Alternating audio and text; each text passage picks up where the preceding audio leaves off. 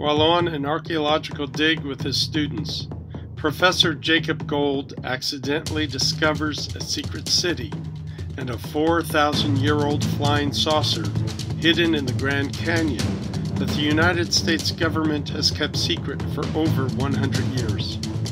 His curiosity gets the better of him, and suddenly he finds himself whisked away to a parallel Earth where reptiles evolved into humanoid form and rule a planet ravaged by war and climate change.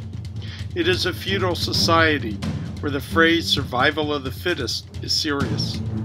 They are vicious, cannibalistic, and brutal.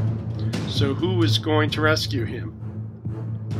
Damien Winter, agent for the clandestine group Magic 12. Winter, reporter Michelle Martin, and their extraction team are going to need all their skills to survive, rescue gold, and retrieve the saucer if they want to get home.